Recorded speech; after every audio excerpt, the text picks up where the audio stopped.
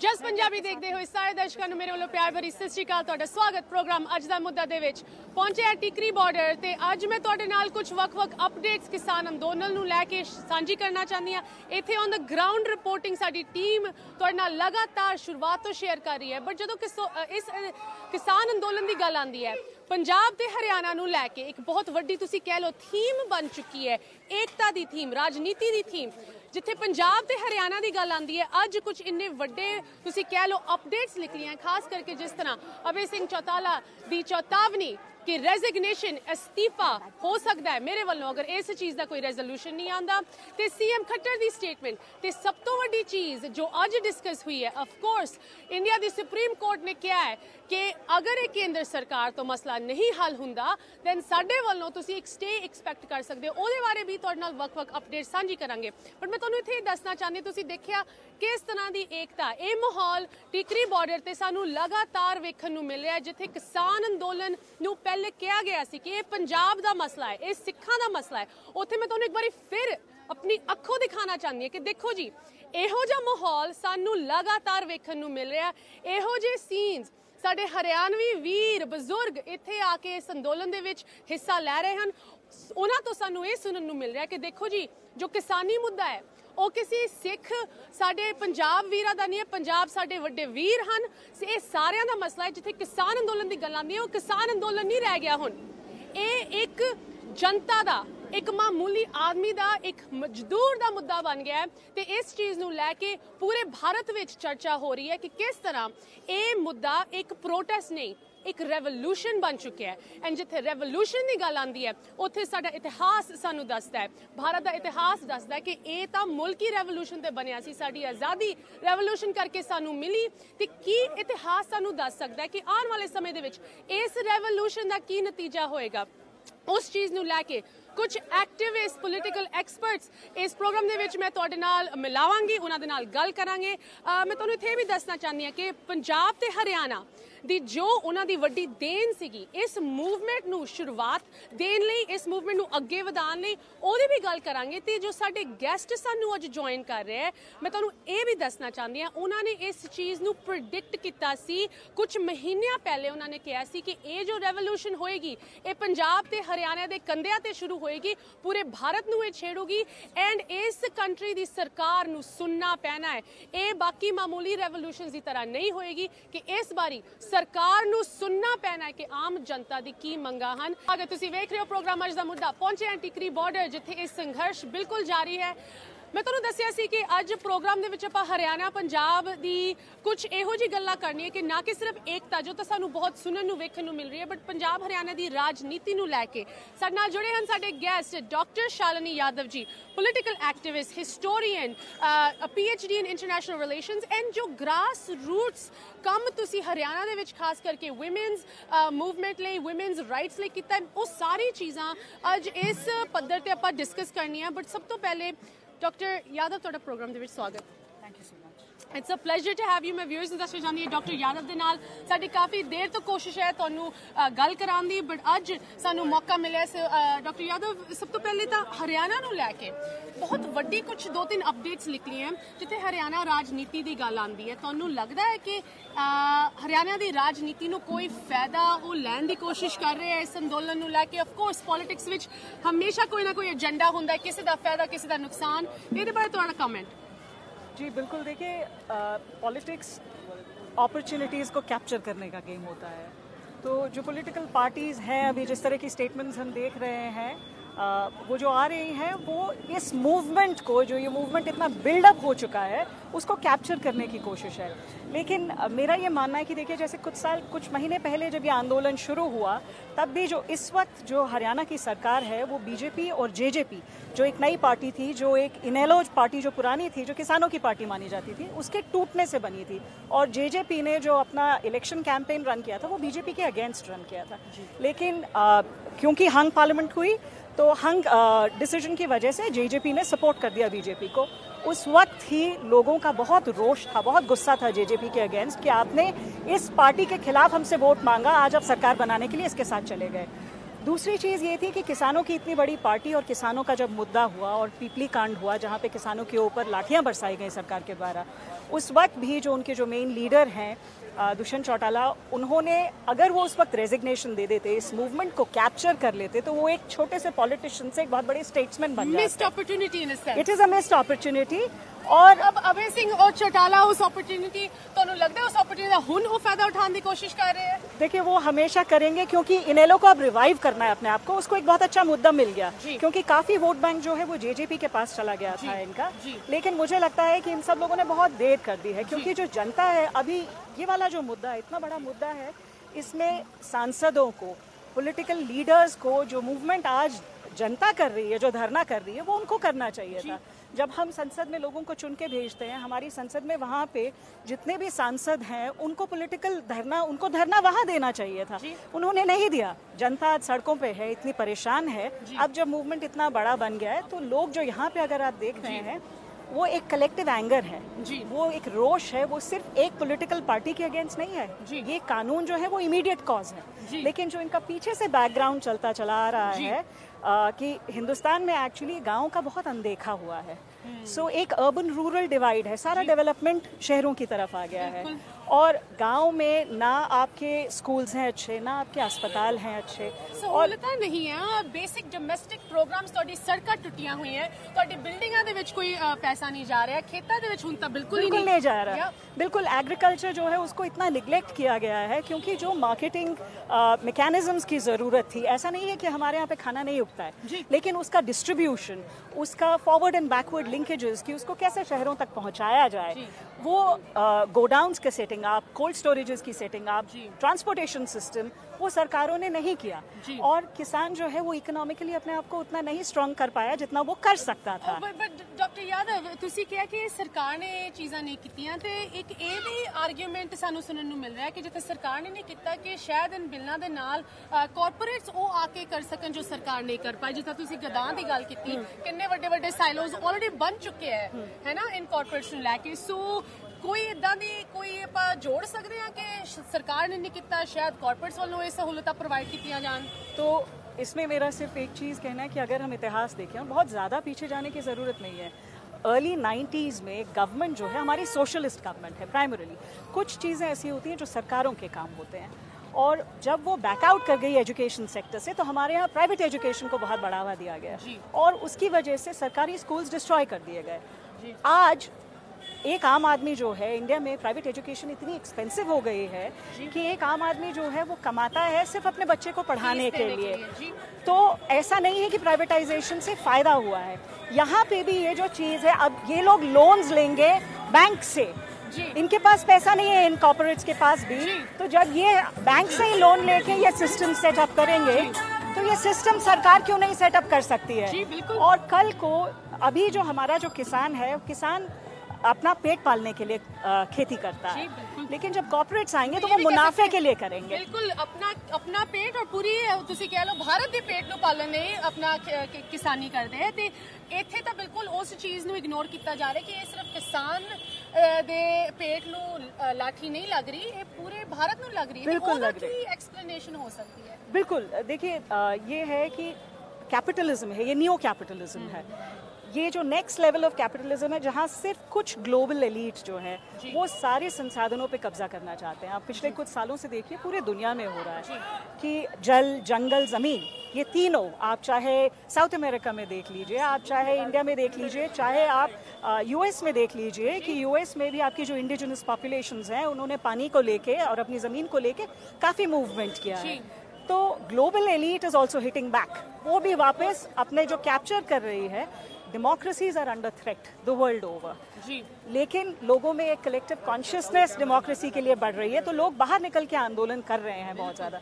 उसको ख़त्म करने के लिए ये एक तरीके का प्लॉय है कि ओलिगार्कीज एस्टैब्लिश कर दी जाएँ जहाँ पे सिर्फ़ कुछ लोग हैं जिनके पास सारे रिसोर्स के ऊपर कब्जा हो और बाकी जो जितनी पॉपुलेशन है उनको एक बेयर मिनिमम सब्सिस्टेंस लेवल पे ज़िंदा रखा जाए ताकि वो एक ਇੱਕ ਅਨਥਿੰਕਿੰਗ ਸਲੇਵ ਰੇਸ ਦੀ ਤਰ੍ਹਾਂ ਕੰਮ ਕਰ ਸਕੇ ਸਲੇਵ ਰੇਸ ਐਂਡ ਜਿਸ ਤਰ੍ਹਾਂ ਤੁਸੀਂ ਕਿ ਆਈ ਥਿੰਕ ਇਹ ਪਰਫੈਕਟ ਐਕਸਪਲੇਨੇਸ਼ਨ ਹੈਗੀ ਜਿੱਥੇ ਕਿਸਾਨ ਦੀ ਗੱਲ ਆਂਦੀ ਹੈ ਉਹਨਾਂ ਨੂੰ ਇਸ ਤਰ੍ਹਾਂ ਬਣਾਉਣ ਦੀ ਕੋਸ਼ਿਸ਼ ਹੋ ਰਹੀ ਹੈ ਕਿ ਉਹਨਾਂ ਨੂੰ ਸਿਰਫ ਆਪਣੀ ਰੋਜ਼ੀ ਤੇ ਰੋਟੀ ਦੀ ਫਿਕਰ ਹੋਏ ਉਹਨਾਂ ਨੂੰ ਹੋਰ ਕੋਈ ਡਿਵੈਲਪਮੈਂਟ ਪ੍ਰੋਗਰੈਸ ਭਾਵੇਂ ਉਹਨਾਂ ਲਈ ਪਰਿਵਾਰ ਲਈ ਅਗਲੀ ਪੀੜ੍ਹੀ ਲਈ ਉਹ ਆਪਸ਼ਨ ਹੀ ਨਾ ਦਿੱਤਾ ਜਾਏ ਉਹਨਾਂ ਦੇ ਸਿਰ ਤੇ ਇੰਨਾ ਬੋਝ ਹੋਏ ਕਿ ਤੁਸੀਂ ਆਪਣੇ ਬਿੱਲ ਪੇ ਕਰਕੇ ਮਾੜੀ ਜੀ ਰੋਟੀ ਪਲੇਟ ਤੇ ਰੱਖੋ ਬਸ।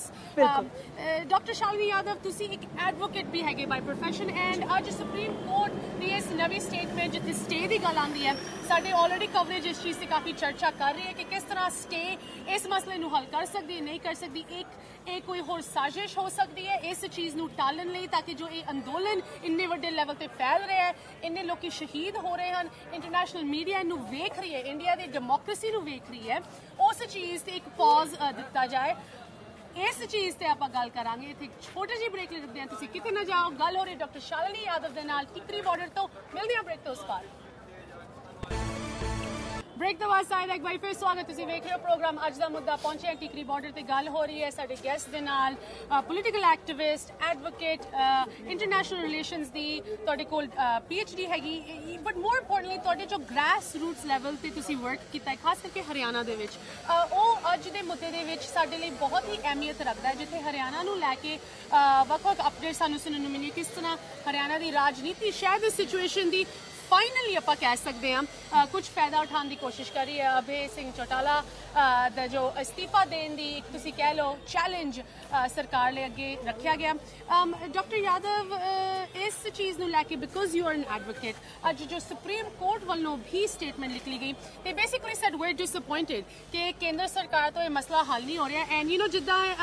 ਮਾਪਿਓ ਆਪਣੇ ਬੱਚਿਆਂ ਨੂੰ ਡਾਂਟਦੇ ਆ ਨਾ ਜਦੋਂ ਤੁਸੀਂ ਕੁਝ ਮਾੜਾ ਕੰਮ ਕਰ ਲੈਂਦੇ ਹੋ that we're disappointed in you ਕਿ ਤੁਸੀਂ ਇਹ ਕਰ ਕਿੱਦਾਂ ਦਿਆ। ਇਸ ਤਰ੍ਹਾਂ ਲੱਗਦਾ ਸੁਪਰੀਮ ਕੋਰਟ ਨੇ ਥੋੜਾ ਜਿਹਾ ਜਿੱਦਾਂ ਕਹਿੰਦਾ ਨਾ on the back of the hand ਕੇਂਦਰ ਸਰਕਾਰ ਨੂੰ ਰੈਪ ਕੀਤਾ। But it doesn't seem like a concrete development in the sense that ਅੰਦੋਲਨ ਹਲੇ ਵੀ ਚੱਲ ਰਿਹਾ ਹੈ। ਜੋ ਕਿਸਾਨ ਆਗੂਆਂ ਦੀ ਮੰਗਾਂ ਹੈਗੀ ਜੋ ਕਿਸਾਨਾਂ ਦੀ ਇਨ ਸਾਰੇ ਪ੍ਰੋਟੈਸਟਰਸ ਦੀ ਮੰਗਾਂ ਹਨ ਕਿ ਇਨ ਬਿੱਲਾਂ ਨੂੰ ਰੱਦ ਕਰਨਾ ਹੀ ਕਰਨਾ ਹੈ। ਉਸ ਚੀਜ਼ ਦੀ ਤਰਫ ਤਾਂ ਕੋਈ ਇੰਡੀਕੇਸ਼ਨ ਨਹੀਂ ਹੈ। As an advocate let's just start with that ਕਿ ਜਿੱਥੇ ਸਟੇ ਦੀ ਗੱਲ ਆਉਂਦੀ ਹੈ ਇਸ ਦਿਸ ਇਵਨ ਆਪਾਂ ਕਹਿ ਸਕਦੇ ਹਾਂ ਇੱਕ ਪ੍ਰੋਗਰੈਸਿਵ ਸਟੈਪ ਵੀ ਹੈਗਾ ਇਹਦੇ ਚੋਂ ਕੁਝ ਕੱਢ ਵੀ ਹੋ ਸਕਦਾ ਹੈ ਇਸ ਅ, ਮਸਲੇ ਨੂੰ ਲੈ ਕੇ ਔਰ ਇਹ ਇੱਕ ਤਰ੍ਹਾਂ ਦਾ ਦਿਖਾਵਾ ਹੈ ਕਿ ਹਾਂਜੀ ਲੋਕਾਂ ਨੂੰ ਖੁਸ਼ ਕਰਨ ਲਈ ਸ਼ਾਇਦ ਇਸ ਚੀਜ਼ ਨੂੰ ਸੁਣ ਕੇ ਲੋਕੀ ਲੌਟ ਜਾਣ ਇਸ ਅੰਦੋਲਨ ਤੇ ਥੋੜਾ ਜਿਹਾ ਪਾਣੀ ਪੈ ਜਾਏ ਅ, ਕੀ ਕੀ ਇਸ ਸੁਪਰੀਮ ਕੋਰਟ ਦੇ ਸਟੇਟਮੈਂਟ ਦੇ ਤੁਹਾਡੇ ਵਿਚਾਰ ਹਨ अ, देखिए कुछ टाइम से जो सुप्रीम कोर्ट के कुछ फैसले हैं उसमें जो जनरल पब्लिक है उसको ये लग रहा था कि सुप्रीम कोर्ट जो है वो गवर्नमेंट की तरफ़ बहुत ज़्यादा टिल्ट हो रही है जबकि इंडिया में जुडिशरी इंडिपेंडेंट है। तो इस इस तरह से जो रैप की बात आप कर रहे हैं on the knuckles on the back hand and उससे सरकार उससे सुप्रीम कोर्ट ने ये दिखाने की कोशिश की we are pro people you know हम आपके लिए केयर uh, करते हैं लेकिन स्टे दे के it is just about buying time basically government इस तरह इस मूवमेंट को जिस तरीके से uh, ख़त्म करने की कोशिश करेगी जो कि वो चाहती है तो उन्हें लगा था जितना लंबा टाइम हम जैसे एंटी सी ए प्रोटेस्ट को लेके जितना लंबा टाइम इसको खींचते चले जाएँगे अपने आप लोग थक के वापस चले जाएँगे, कुछ ना कुछ हो जाएगा। लेकिन आप देख रहे हैं यहाँ लोगों ने ना कोविड की परवाह की है ना किसी और चीज़ से डरे हैं। और वो डटे हुए हैं वो ये कह रहे हैं जितना बैक एंड सपोर्ट जो आ रहा है अब हाँ जो गाँव गाँव से आ रहा है। छोटे छोटे बच्चे रोज उठ के सवेरे दूध ले रहे हैं साथ में इकट्ठा कर रहे हैं कोई आके दे रहा है। आप देखते हैं सब्ज़ी फल वगैरह सब आ रहे हैं। तो ये जो। चीज़ें जो हो रही हैं वो उससे सरकार घबराई हुई है। बहुत ज़्यादा घबराई हुई है क्योंकि ये एक कलेक्टिव मूवमेंट है। आज यहाँ पे सबको पता है कि क्या हो रहा है। तो this is supreme court trying to buy the time पहली चीज़ ये है कि बहुत क्लियरली जो हुआ वो बिल्कुल अनकॉन्स्टिट्यूशनल है ये हमारे सेंट्रल गवर्नमेंट के दायरे में आता ही नहीं है कि वो एग्रीकल्चर के ऊपर या एग्रीकल्चरल मार्केटिंग के ऊपर ये बिल्स बना इस तरह के लॉज बना पाए जी। So itself this entire law is redundant you know अगर जी। आज हम यहाँ खड़े हो रहे हैं तो ज़्यादातर लोगों को एक्चुअली इसलिए उठ के खड़ा होना चाहिए क्योंकि ये डेमोक्रेसी के लिए एक बहुत बड़ा थ्रेट है। हम्म। क्योंकि जब लोगों ने अपनी मर्ज़ी से भेजा है और वहाँ पे गवर्नमेंट जो है वो कॉन्स्टिट्यूशनल तरीके से काम नहीं कर रही it is bypassing the constitution तो ज़िम्मेदारी बनती है क्योंकि कल को ये लॉज किसी के लिए भी किसी तरीके से सरकार बना सकती है। तो when it becomes like a you know a democracy which is under threat because अगर इसको आप मान लेते हैं तो इसका मतलब आप एंड ऑफ़ डेमोक्रेसी को मान चुके हैं। डॉक्टर यादव कुछ महीने पहले ਤੁਸੀਂ ਇਸ ਚੀਜ਼ ਨੂੰ ਥੋੜਾ ਜਿਹਾ ਆਪਾਂ ਕਹਿ ਸਕਦੇ ਆ ਪ੍ਰੈਡਿਕਟ ਕੀਤਾ ਸੀ ਖਾਸ ਕਰਕੇ ਜਿੱਥੇ ਪੰਜਾਬ ਹਰਿਆਣਾ ਦੀ ਗੱਲ ਆਂਦੀ ਇਸ ਰੈਵੋਲੂਸ਼ਨ ਨੂੰ ਕੈਰੀ ਫਾਰਵਰਡ ਕਰਨ ਲਈ। ਐਂਡ ਤੁਸੀਂ ਮੈਨੂੰ ਇੰਟਰਵਿਊ ਤੋਂ ਪਹਿਲੇ ਇਹ ਵੀ ਗੱਲ ਕਹੀ ਸੀ ਕਿ ਦੇਖੋ ਜੀ ਇਸ ਰੈਵੋਲੂਸ਼ਨ ਦੇ ਵਿੱਚ ਇੱਕ ਅਨੋਖੀ ਚੀਜ਼ ਇਹ ਹੁਣ ਹੈਗੀ ਕਿ ਇਹ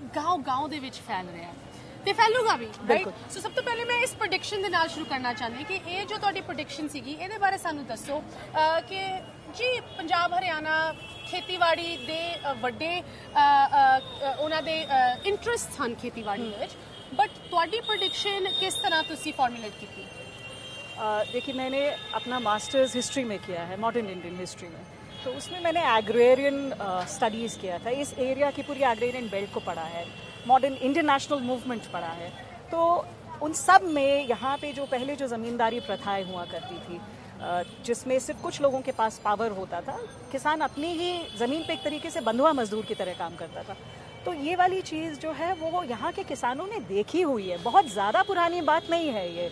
हमारी इंडिपेंडेंस हम सत्तर साल से ही मुश्किल से भी ऊपर हुए हैं। तो एक जनरेशन से दूसरी जनरेशन तक ये बातें बताई गई हैं। और ये डर जो है कि कॉपोरेट्स आएँगे और उसी तरीके की बात होगी कि पूरे के पूरे गाँव एक आदमी को बिलोंग करेंगे। जी। तो जी। वो खतरा उनके लिए बहुत रियल है। जी। दूसरी चीज़ ये है कि रेवोल्यूशन जो हुआ है जो इंडियन नेशनल मूवमेंट था वो कम टाइम का नहीं था। उसको इट स्प्रेड ओवर सेंचुरीज कई सेंचुरीज के ऊपर जब वो स्प्रेड हुआ तो एक एक गाँव में उस टाइम जिस तरह से रेवोल्यूशन हुआ था हमारा आर्म रेवोल्यूशन नहीं था। हाँ जी। तो पीसफुल रेवोल्यूशन में सबसे बड़ी चीज़ जो की गई थी वो कॉन्शियसनेस रेज करने के लिए गई थी। कॉन्शियसनेस लोगों जागरूक जागरूक किया गया था जी, जी, जी. तो एक एक गाँव से हिंदुस्तान का एक एक गाँव में वो जो आप कहें विरोध विद्रोह या अन्याय के खिलाफ आवाज़ उठाने का की जो बूंद है वो सबके डीएनए में है।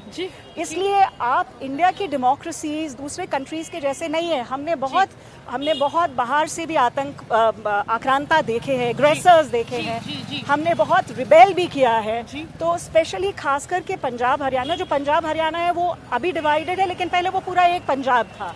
तो। इस एरिया ने तो शुरू से सैक्रिफाइसेस देखे हैं। हम आज भी फौज में अपने बच्चों को प्राउडली भेजते हैं। बिल्कुल। तो दूसरी चीज़ जो ये गवर्नमेंट मिस कर गई है वो ये है कि जो हमारा स्पिरिट है इस पूरी बेल्ट का जो स्पिरिट है ना हाँ वो सैक्रिफाइस पे बेस्ड है। जी। उनके लिए त्याग या शहीदी शहीदी से बड़ा कोई दर्जा नहीं है हमारे यहाँ पे। तो जब हमारे लिए अन्याय की बात आएगी और जहाँ ज़मीन जो ज़मीन से हमारा अटैचमेंट है वो ज़मीन से हमारा अटैच मटेरियल गुड की तरह नहीं जी। है ज़मीन का मतलब माँ है हमारे लिए।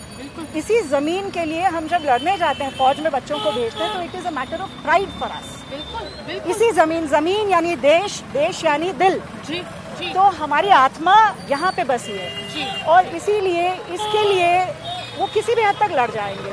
दूसरी एक बहुत ज़रूरी चीज़ है जो इस गवर्नमेंट ने मिस की है कि देश ये पूरा हिंदुस्तान और खास करके इस बेल्ट में हमारे यहाँ राजा महाराजाओं को वॉर के टाइम याद किया जाता है। जी। कोई अगर बोली लगाई जाती है। लेकिन ज़्यादातर इंडिया का जो स्पिरिट है वो त्याग का है। हमारे यहाँ हमारे यहाँ जो होते हैं जी पोएट्स हैं जिन्होंने त्याग किया जी।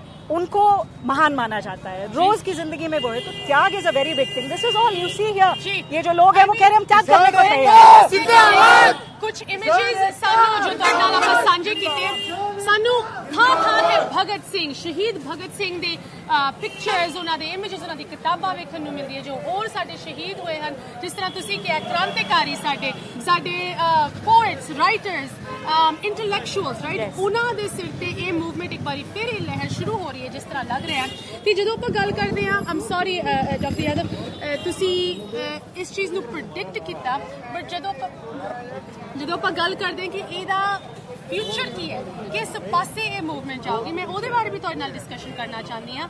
ਬਟ ਇੱਥੇ ਇਹ ਸਵਾਲ ਸਭ ਤੋਂ ਵੱਡਾ ਇਹ ਬਣਦਾ ਹੈ ਕਿ ਪੰਜਾਬ ਔਰ ਹਰਿਆਣਾ ਦੇ ਵਿੱਚ, ਅਗਰ ਆਪਾਂ ਹਰਿਆਣਾ ਦੀ ਗੱਲ ਕरें ਤੁਹਾਡੀ ਖਾਸ ਕਰਕੇ ਜੋ ਗ੍ਰਾਸ ਰੂਟਸ ਐਕਸਪਰਟਿਜ਼ ਰਹੀ ਹੈ ਹਰਿਆਣਾ ਨੂੰ ਲੈ ਕੇ ਪੰਜਾਬ, ਹਰਿਆਣਾ ਦੇ ਵਿੱਚ ਜਦੋਂ ਵੀ ਇਹ ਚੀਜ਼ ਰਿਜ਼ੋਲਵ ਹੁੰਦੀ ਹੈ, ਤੁਹਾਨੂੰ ਲੱਗਦਾ ਕਿ ਉਹੋ ਜੀ ਏਕਤਾ ਜਾਂ ਉਹੋ ਜੀ ਰਿਲੇਸ਼ਨਸ਼ਿਪ ਕਾਇਮ ਰਹੂਗੀ ਜਾਂ ਆਲਰੇਡੀ ਸਾਨੂੰ ਕੁਝ ਇਹੋ ਜਿਹੇ ਸਾਈਨਸ ਵੇਖਣ ਨੂੰ ਮਿਲ ਰਹੇ ਕਿ ਹਰਿਆਣਾ ਰਾਜਨੀਤੀ ਤਾਂ ਆਪਣੇ ਫਾਇਦੇ ਲਈ अपने फ़ायदे लिए ऑलरेडी बंदोबस्त करने की कोशिश जब भी मैस मूवमेंट जो होती हैं राइज कर जाती है उनको तोड़ने के लिए या उनको यूज़ करने के लिए कोई ना कोई पॉलिटिकल लोग तो उसमें इन्वॉल्व होंगे ही। इसका फ़ायदा उठाने की कोशिश करेंगे। Doctor Yadav I am so sorry इतने पर छोटी सी ब्रेक ले रुकते हैं। We are find somewhere a little quieter ये ते मोर्चे का माहौल।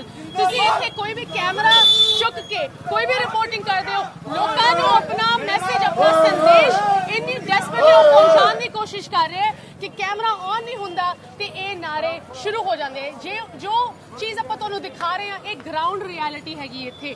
ਕੋਈ ਵਾਇਲੈਂਸ ਨਹੀਂ, ਕੋਈ ਡਿਸਆਰਗੇਨਾਈਜੇਸ਼ਨ ਸਿਰਫ ਲੋਕਾਂ ਦਾ ਜੋਸ਼ ਤੁਹਾਡੇ ਨਾਲ ਪਹੁੰਚਾ ਰਹੇ ਤੇ ਛੋਟੇ ਬ੍ਰੇਕ ਲੈ ਲਓ ਤੁਸੀਂ ਕਿਤੇ ਨਾ ਜਾਓ। ਪ੍ਰੋਗਰਾਮ ਇਸ ਤਰ੍ਹਾਂ ਚੱਲ ਰਹੇਗਾ ਬ੍ਰੇਕ ਤੋਂ ਉਸ ਪਾਰ। ਬ੍ਰੇਕ ਤੋਂ ਬਾਅਦ ਸਾਡੇ ਦਾ ਸਵਾਗਤ ਜਿਸ ਤਰ੍ਹਾਂ ਤੁਹਾਨੂੰ ਵਾਅਦਾ ਕੀਤਾ ਸੀ ਕੁਆਇਟਰ ਪਲੇਸ ਲੱਭ ਕੇ ਪ੍ਰੋਗਰਾਮ ਦੀ ਹੁਣ ਆਪਾਂ ਇਹ ਪੋਰਸ਼ਨ ਸ਼ੁਰੂ ਕਰਨ ਜਾ ਰਹੇ ਹਾਂ। ਬਟ ਮੈਂ ਤੁਹਾਨੂੰ ਇੱਕ ਵਾਰੀ ਫਿਰ ਦੱਸਣਾ ਚਾਹੁੰਦੀ ਜੋ ਅੰਦੋਲਨ ਦਾ ਮਾਹੌਲ ਹੈ, ਜੋ ਸੱਚਾਈ ਇੱਥੇ ਹੈਗੀ ਗਰਾਊਂਡ ਦੀ ਰਿਐਲਿਟੀ ਉਹ ਤੁਹਾਡੇ ਨਾਲ ਸਾਡੀ ਹਮੇਸ਼ਾ ਕੋਸ਼ਿਸ਼ ਰਹਿੰਦੀ ਹੈ ਕਿ ਸਾਂਝੀ ਕੀਤੀ ਜਾਏ। ਗੱਲ ਹੋ ਰਹੀ ਹੈ ਡਾਕਟਰ ਸ਼ਾਲਨੀ ਯਾਦਵ ਜੀ ਦੇ ਨਾਲ। ਸਭ ਤੋਂ ਪਹਿਲੇ ਡਾਕਟਰ ਯਾਦਵ ਤੁਸੀਂ ਇੱਕ ਇਤਿਹਾਸਿਕ ਤੌਰ ਤੇ ਤੇ ਇੱਕ ਪੋਲਿਟੀਕਲ ਐਕਟਿਵਿਸਟ ਹਿਸਟੋਰੀਅਨ ਐਡਵੋਕੇਟ ਦੇ ਤੌਰ ਤੇ ਇਨ ਸਾਰੀ ਚੀਜ਼ਾਂ ਨੂੰ ਸਮਝਿਆ ਜਾਣਿਆ ਤੇ ਸਾਡੇ ਵਿਊਅਰਸ ਨਾਲ ਇਹ ਚੀਜ਼ਾਂ ਕੁਝ ਸਾਂਝੀਆਂ ਕੀਤੀਆਂ।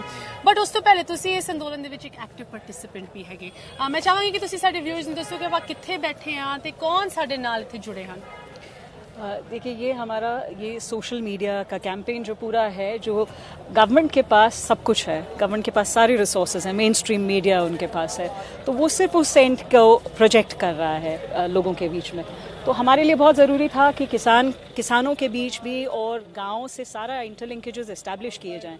तो वो ये सोशल मीडिया टीम ने यहाँ पे किया है, ये सोशल मीडिया टीम का टेंट है। ये अनूप जी है, वनल जी है, नैन जी हैं और यहाँ से पूरी एक चेन क्रिएट की गई है। तो जैसे गाँव से कुछ आना होता है, कोई सामान, कोई रिसोर्सेज चाहिए होते हैं तो पूरा जो देश है वो जुड़ के कर रहा है। जी। ये सिर्फ़ ऐसा नहीं है कि मूवमेंट यहाँ से चल रही है ये मूवमेंट उधर से भी चल रही है बैकेंड से भी चल रही है फोरग्राउंड से भी चल रही है। तो आगे वाला जो है वो इन लोगों ने संभाला हुआ है।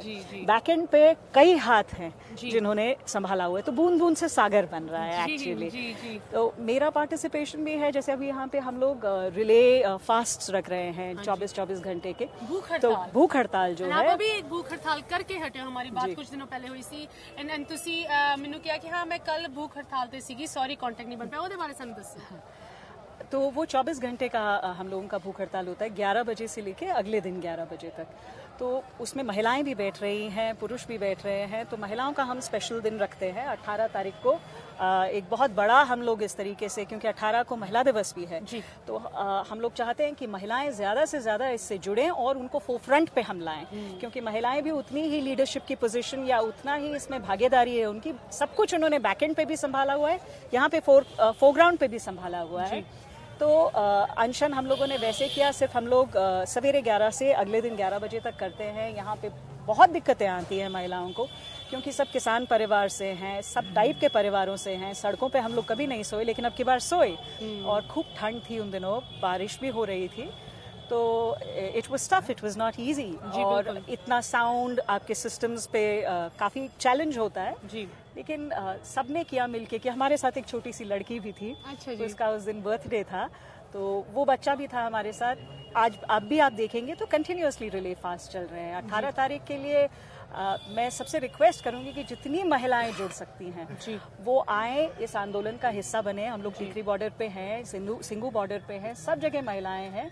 आगे बढ़िए और इसमें हिस्सा लीजिए क्योंकि आगे की बागडोर जो है वो हम सबको मिलके संभालनी है ਡਾਕਟਰ ਯਾਦਵ ਆਫ ਕੋਰਸ ਮੈਂ ਤੁਹਾਡੇ ਨਾਲ ਥੋੜੀ ਜਿਹੀ ਹੁਣ ਗੱਲ ਕਰਨਾ ਚਾਹੁੰਦੀ ਹਾਂ, ਜਿੱਥੇ ਆਪਾਂ ਇਤਿਹਾਸ ਦੀ ਗੱਲ ਕੀਤੀ ਅਹ, ਕੀ ਉਹ ਸਿਚੁਏਸ਼ਨ ਸੀਗੀਆਂ ਅਹ, ਜਿਨ੍ਹਾਂ ਦੇ ਕਰਕੇ ਅੱਜ ਇਹ ਅਹ, ਇਸ ਮੁਕਾਮ ਤੇ ਪੂਰਾ ਦੇਸ਼ ਅਹ, ਪਹੁੰਚਿਆ ਬਟ ਆਫ ਕੋਰਸ ਸਾਨੂੰ ਫਿਊਚਰ ਦੀ ਵੀ ਗੱਲ ਕਰਨੀ ਚਾਹੀਦੀ ਹੈ, ਖਾਸ ਕਰਕੇ ਜਿੱਥੇ ਇਸ ਚੀਜ਼ ਦੀ ਕੋਈ ਰੈਜ਼ੋਲੂਸ਼ਨ ਕੋਈ ਹੱਲ ਦੀ ਗੱਲ ਆਂਦੀ ਹੈ ਰਾਈਟ ਬਿਕੋਜ਼ ਹੁਣ ਸਾਰਿਆਂ ਦਾ ਉਸ ਪਾਸੇ ਧਿਆਨ ਲੱਗਿਆ ਹੋਇਆ ਹੈ ਕਿ ਦੇਖੋ ਜੀ ਇੰਨਾ ਸਮਾਂ ਹੋ ਗਿਆ ਇੰਨੇ ਸਾਡੇ ਸ਼ਹੀਦ ਹੋਏ ਹਨ ਜੋ ਇੱਥੇ ਆਏ ਹੋਏ ਸਾਡੇ ਬਜ਼ੁਰਗ।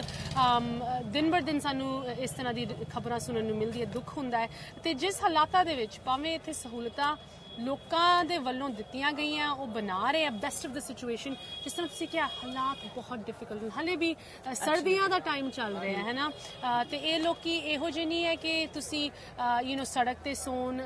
ਦਾ ਤੁਹਾਨੂੰ ਕੋਈ ਸ਼ੌਕ ਹੈ ਜਾਂ ਕੋਈ ਆਦਤ ਪਈ ਹੋਈ ਹੈ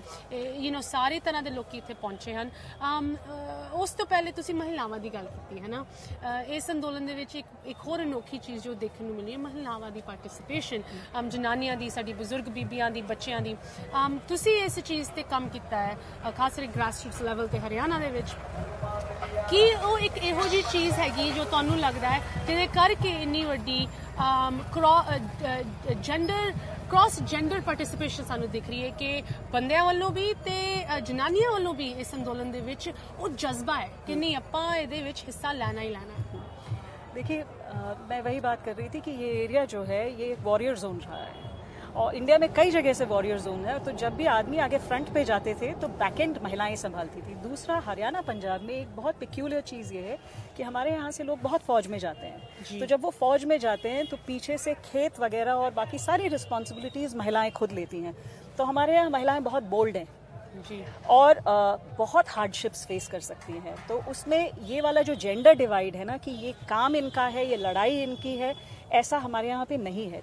महिलाओं में बहुत हिम्मत है और आ, मैं तो हरियाणा की महिलाओं के लिए ये कहूँगी भी कि अगर आप देखें इंडिया का इतिहास तो हरियाणा की महिलाओं को तो जहाँ जहाँ मौका मिला है हमारे ओलंपिक गोल्ड मेडलिस्ट सब देख। लीजिए सब हरियाणा से आते हैं जी तो सिर्फ़ मौके वाली बात है और ये अपनी ज़िम्मेदारी समझ के हर महिला जो है वो जानती है कि उसके बच्चा इफेक्टेड है इससे। कल को हर किसी का भविष्य इससे इफेक्टेड है। इसलिए आगे बढ़ चढ़ के वो जानती हैं ये लड़ाई अकेले नहीं लड़ सकते पुरुष भी अकेले नहीं लड़ सकते ये कंबाइंड कलेक्टिव एफर्ट है। तो सिर्फ़ इसमें जेंडर नहीं इसमें एज बैरियर भी कोई नहीं है अगर हाँ आप देखें। बिल्कुल। छोटे से छोटा बच्चा भी आ रहा है यहाँ पे और बड़े से बड़े बुज़ुर्ग भी आ रहे हैं। एक नब्बे साल के बुजुर्ग भी आए थे यहाँ पे जी, बैठने के जी, लिए जी, तो जी। It is the whole of India is together ਜੀ ਅਮ ਡਾਕਟਰ ਯਾਦਵ ਅਗਰ ਆਪਾਂ ਹੁਣ ਥੋੜੀ ਜੀ ਗੱਲ ਨੂੰ ਲੈ ਕੇ ਜਾਈਏ ਕਿ ਇਸ ਤਰ੍ਹਾਂ ਇਹ ਚੀਜ਼ ਕਿਸ ਤਰ੍ਹਾਂ ਰਿਜ਼ੋਲਵ ਹੋ ਸਕਦੀ ਹੈ ਰਾਈਟ ਸਾਨੂੰ ਇਹ ਸੁਣਨ ਨੂੰ ਮਿਲ ਰਿਹਾ ਹੈ ਅ, ਸਾਡੀ ਰਿਪੋਰਟਿੰਗ ਤੋਂ ਵੱਖ-ਵੱਖ ਸੋਰਸਸ ਤੋਂ ਸਰੋਤਿਆਂ ਤੋਂ ਕਿ ਇਸ ਚੀਜ਼ ਨੂੰ ਲੈ ਕੇ ਦੇਖੋ ਜੀ ਸਰਕਾਰ ਨੂੰ ਤਾਂ ਨੁਕਸਾਨ ਹੀ ਨੁਕਸਾਨ ਹੈ। ਅਗਰ ਮੋਦੀ ਇਨ ਕਾਨੂੰਨਾਂ ਨੂੰ ਵਾਪਸ ਲੈ ਲੈਂਦਾ ਹੈ, ਤੇ ਉਹਦੀ ਤਾਂ ਲਾਨਤ ਹੋਏਗੀ, ਉਹਨੂੰ ਲੇਮ ਡੱਕ ਪ੍ਰਾਈਮ ਮਿਨਿਸਟਰ ਦੀ ਤਰ੍ਹਾਂ ਦੇਖਿਆ ਜਾਏਗਾ।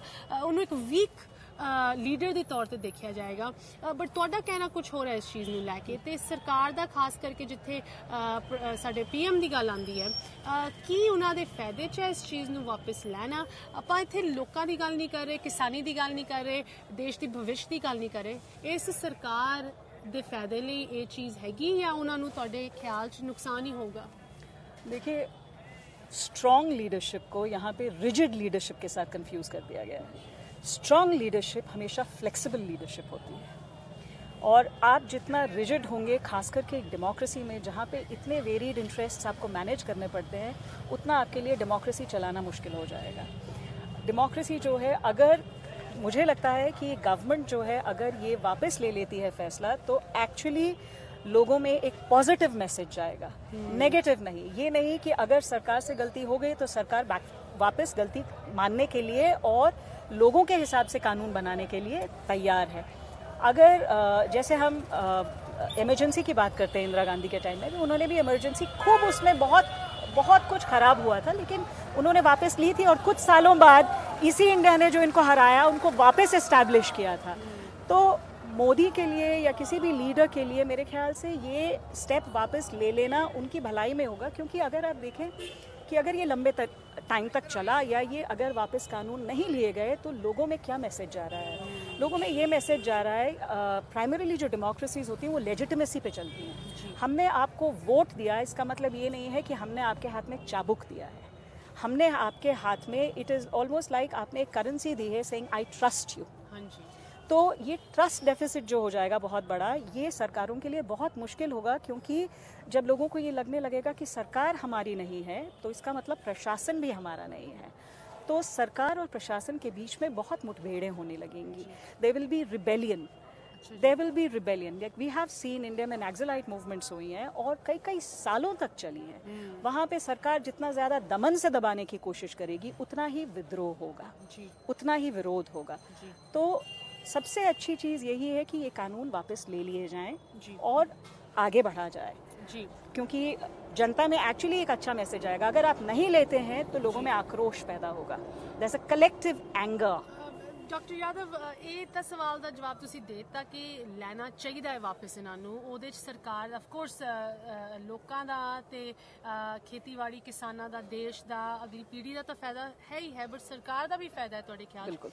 ਬਟ ਹੁਣ ਜੋ ਆਪਾਂ ਕਹਿ ਸਕਦੇ ਮਿਲੀਅਨ ਡਾਲਰ ਕੁਐਸਚਨ ਹੈਗਾ ਕੀ ਇਹਨਾਂ ਨੂੰ ਵਾਪਸ ਲਿੱਤਾ ਜਾਊਗਾ ਕੀ ਟਾਈਮਲਾਈਨ ਤੁਹਾਡੇ ਖਿਆਲ 'ਚ ਬਿਕਾਜ਼ ਤੁਸੀਂ ਕਾਫੀ ਐਕਿਊਰੇਟਲੀ ਕੁਝ ਮਹੀਨਿਆਂ ਪਹਿਲੇ ਇੱਕ ਚੀਜ਼ ਪ੍ਰੈਡਿਕਟ ਕੀਤੀ ਸੀ ਉਹ ਸਾਨੂੰ ਅੱਜ ਵੇਖਣ ਨੂੰ ਮਿਲ ਰਹੀ ਹੈ ਪੰਜਾਬ ਹਰਿਆਣਾ ਦੇ ਸਿਰ ਤੇ ਪੂਰਾ ਇੰਡੀਆ ਜਾਗਰੂਕ ਹੋ ਰਿਹਾ ਹੈ ਇਨ ਚੀਜ਼ਾਂ ਨੂੰ ਲੈ ਕੇ ਮੈਂ ਕਹਾਂਗੀ ਪੂਰੀ ਦੁਨੀਆ ਦੇ ਵਿੱਚ ਇਹ ਸੰਦੇਸ਼ ਪਹੁੰਚ ਚੁੱਕਿਆ ਕਿ ਕਿਸ ਤਰ੍ਹਾਂ ਦੀ ਹੁਣ ਮੂਵਮੈਂਟ ਬਣ ਚੁੱਕੀ ਹੈ ਬਟ ਤੁਹਾਡੇ ਖਿਆਲ 'ਚ ਕਿਸ ਤਰ੍ਹਾਂ ਦੀ ਟਾਈਮਲਾਈਨ ਹੋ ਸਕਦੀ ਹੈ ਕਿ ਇਹ ਰਿਜ਼ੋਲਵ ਕੀ ਇਹ ਰੈਜ਼ੋਲੂਸ਼ਨ ਬਿੱਲ ਐਕਟਸ ਦੀ ਰੱਦ ਦੇ ਨਾਲ ਹੋਏਗਾ ਜਾਂ ਕੰਪਰੋਮਾਈਜ਼ ਦੇ ਨਾਲ ਹੋਏ ਕੋਈ ਅਮੈਂਡਮੈਂਟ ਜਾਂ ਕੋਈ ਸਟੇ ਜਿਸ ਤਰ੍ਹਾਂ ਅੱਜ ਸੁਪਰੀਮ ਕੋਰਟ ਦਾ ਬਿਆਨ ਆਇਆ ਹੈ अ, जैसे सुप्रीम कोर्ट ने कहा और हरियाणा के भी चीफ मिनिस्टर ने यही कहा है कि सरकार कानून वापस नहीं लेगी अमेंडमेंट के लिए देख सकती है तो मुझे लगता है कि 25 26 जनवरी हमारा रिपब्लिक डे है उससे पहले गवर्नमेंट की तरफ़ से कुछ एक मूवमेंट तो ज़रूर होगी क्योंकि किसानों ने भी कह दिया है कि हम ट्रैक्टर मार्च करेंगे हमारी एक ऑल्टरनेट लोकतंत्र की ये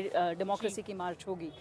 तो इंटरनेशनली सारा मीडिया देख रहा है तो ये इमेज मैनेजमेंट का वैसे भी खेल चल रहा है। तो तब तक मैनेज करना ज़रूरी है। उसके बाद मेरे ख्याल से एक जो सोल्यूशन इस तरीके से निकल सकता है कि कोई बैकएंड पे ये डिसीज़न ले लिया जाए और फ्रंट पे आके फ्रंट फ्रूट पे कौन खेलेगा? ये एक ऑप्शन जो है, वो पॉलिटिकली इनके पास है कि ये डिसीज़न कन्वे कौन करेगा? ਜੀ but doctor Yadav supreme court ਨੇ ਤਾਂ ਇਹ ਵੀ ਕਿਹਾ ਹੈ ਕਿ ਦੇਖੋ ਜੀ ਆਪਾਂ ਇੱਕ ਪਾਸੇ ਤਾਂ ਸਰਕਾਰ ਨੂੰ ਕਹਿ ਰਹੇ ਹਾਂ ਕਿ ਤੁਹਾਡੇ ਤੋਂ ਇਹ ਹੱਲ ਲੱਭਿਆ ਨਹੀਂ ਜਾ ਰਿਹਾ, ਸਾਨੂੰ ਇਨਵੋਲਵ ਹੋਣ ਦੀ ਲੋੜ ਹੈ, ਆਪਾਂ ਹੋਵਾਂਗੇ। ਦੂਜੇ ਪਾਸੇ ਸੁਪਰੀਮ ਕੋਰਟ ਤੋਂ ਇਹ ਵੀ ਚੀਜ਼ ਸਾਨੂੰ ਅੱਜ ਰਿਪੋਰਟਿੰਗ ਸੁਣਨ ਨੂੰ ਮਿਲੀ ਕਿ ਉਹਨਾਂ ਨੇ ਕਿਸਾਨ ਆਗੂਆਂ ਨੂੰ ਕਿਹਾ ਕਿ ਤੁਸੀਂ ਇੱਕ ਐਫੀਡੇਵਿਟ ਸਾਈਨ ਕਰੋ ਕਿ ਤੁਸੀਂ ਜਨਵਰੀ 26 ਨੂੰ ਰਿਪਬਲਿਕ ਡੇ ਨੂੰ ਇਹ ਚੀਜ਼ਾਂ ਨਹੀਂ ਕਰ ਸਕਦੇ ਰਾਈਟ ਸੋ um, ਉਸ ਚੀਜ਼ ਨੂੰ ਲੈ ਕੇ ਤੁਸੀਂ ਕਹੋਗੇ ਕਿ ਇੱਕ ਹੋਰ ਇੱਕ ਤਰ੍ਹਾਂ ਦੀ ਸਾਜ਼ਿਸ਼ ਜਾਂ ਟਾਈਮ ਡਿਲੇ ਕਰਨ ਦੀ ਜਾਂ ਲੋਕਾਂ ਨੂੰ ਪਰੋਸਣ ਦੀ ਕੋਈ ਚਾਲ ਹੈਗੀ ਜਾਂ ਇਹਦੇ ਵਿੱਚ ਕੋਈ ਐਕਚੁਅਲ ਇੰਟੈਂਸ਼ਨ ਹੈ ਰੈਜ਼ੋਲੂਸ਼ਨ ਦੇ ਲਈ देखिए इस वक्त तो मेरे ख्याल से सरकार सिर्फ 26 जनवरी पे फोकस कर रही है कि किसी तरीके से 26 जनवरी को निकाल लिया जाए इसीलिए यानी किसानों का जो और ये इस मूवमेंट का जो प्रेशर है वो गवर्नमेंट के ऊपर बहुत एक्यूट है जी गवर्नमेंट के लिए मुश्किल ये है कि अगर वो ये बिल वापस लेती है तो जो नियो कैपिटलिस्ट्स हैं जो जिस तरह का कैपिटलिज्म हम देख रहे हैं उसके लिए अगला स्टेप यही है उसको ज़मीन हथियानी है क्योंकि उसके बगैर वो आगे बढ़ नहीं सकता है। तो वहाँ पे वो स्टक है। अगर ये मूवमेंट हम जीतते हैं तो ये इस तरह के कैपिटलिज्म का एंड है कहीं पे।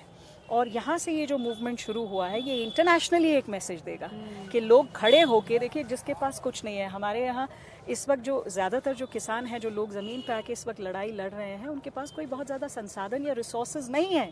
अगर वो आदमी मिल के जब लड़ते हैं और सरकारों को झुका सकते हैं तो ये कितना बड़ा मैसेज है उन लोगों के पास उन सोसाइटीज़ के पास जिन जिनके पास हमसे बहुत ज़्यादा है। जी बिल्कुल।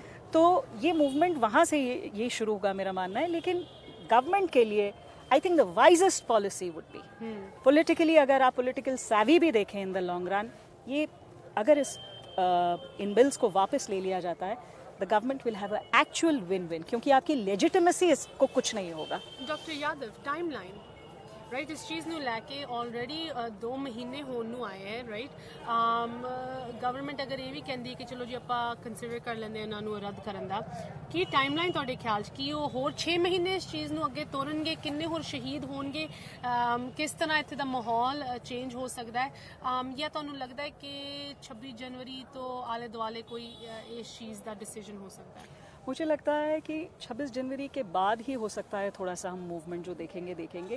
गवर्नमेंट वेट वेटिंग गेम खिला रही है कि कितने दिन तक आप इसको कंटिन्यू कर सकते हैं, कितनी आप में पेशेंस हम ये देख सकते हैं। हमने एंटी सी ए प्रोटेस्ट में भी देखा कि मूवमेंट छः महीने तक चल गई, उसके बाद कोविड की वजह से उसको विड्रॉ करना पड़ा। तो जब आप अति पे पहुँच जाते हैं you know when you reach an extreme उसके बाद लोगों के पास कोई ऑप्शन नहीं रह जाता बजाय लड़ने का। और जब यहाँ लोग आके ये कह रहे हैं कि हम इसके लिए किसी भी एंड तक रुकने के लिए तैयार हैं यहाँ पे लोग मरने के लिए तैयार हैं। तो जितना लंबा गवर्नमेंट इसको खींचेगी, अगर वो सोच रही है कि यहाँ लोगों की पेशेंस कम हो जाएगी तो गवर्नमेंट को भी एक खतरा है। वो ये है कि किसान परिवार से लोग फौज में जाते हैं। किसान परिवार के लोग पुलिस में हैं। उसके खुद के सिस्टम्स के अंदर जो अंदर जो लोग हैं, चलाने के लिए जो प्रशासन तंत्र है, उसमें यहाँ के इन्हीं परिवारों के लोग बैठे हैं। वो भी रेस्टलेस होना शुरू हो जाएँगे। तो गवर्नमेंट के लिए ये बहुत ही टाइट सिचुएशन है इस वक्त। It has to find a solution as early as possible जितनी जल्दी वो इसका सोल्यूशन करेगी उतना इस सरकार के लिए अच्छा है। जैसे मैंने बार बार कहा कि हमारा एक्सपीरियंस रह चुका है कि लोग गलती माफ़ कर देते हैं। लेकिन अगर आपको आपको ज़िद में देखा है क्योंकि हमारे लिए जो हमारा लीडर होता है जिसको हमने लीडर की पोजीशन पे दिया है उससे हमारी इमोशनल अटैचमेंट बहुत होती है। तो अगर हम उसे हमारा दर्द देख के भी अगर वो नहीं पिघला ये समझा जाएगा हाँ लोगों के द्वारा उसके लिए लोग माफ़ नहीं करेंगे। बिल्कुल बिल्कुल। Once again doctor Shalini Yadav ਤੁਹਾਡੇ ਨਾਲ ਗੱਲ ਕਰਕੇ ਬਹੁਤ ਆਈ ਥਿੰਕ ਵਧੀਆ ਆਪਾਂ ਇਨਸਾਈਟ ਇਤਿਹਾਸਿਕ ਤੌਰ ਤੇ, ਇੱਕ ਪ੍ਰੈਡਿਕਸ਼ਨ ਤੌਰ ਤੇ ਆਪਣੇ ਵਿਊਅਰਸ ਨਾਲ ਸਾਂਝੀ ਕੀਤੀ। Doctor Shalini Yadav political activist advocate international relations PhD and grass roots worker ਜਿਨ੍ਹਾਂ ਨੇ ਖਾਸ ਕਰਕੇ ਹਰਿਆਣਾ ਦੇ ਵਿੱਚ ਇੰਨਾ ਸਮੇਂ ਸਪੈਂਡ ਕੀਤਾ ਹੈ ਇਸ ਲੋਕਲ ਲੈਵਲ ਦੀ ਅੰਡਰਸਟੈਂਡਿੰਗ ਪਾਉਣ ਲਈ। ਪਹੁੰਚੇ ਹਾਂ ਟਿਕਰੀ ਬਾਰਡਰ ਇੱਥੇ ਬੈਠੇ ਇਹਨਾਂ ਦੇ ਸੋਸ਼ਲ ਮੀਡੀਆ ਟੈਂਟ ਦੇ ਵਿੱਚ।